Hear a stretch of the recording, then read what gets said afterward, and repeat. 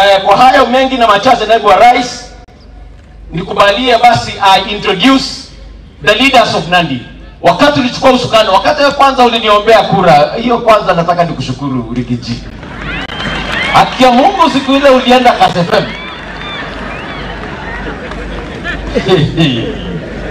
hata nikaacha kampeni, nikakuja nikituliza, naambiwa Rigiji amemaliza hiyo maneno kidogo. Tukasema rais wetu William Ruto alikuwa anaongea kama baba, lakini Rigiji alitoa kisu na akasema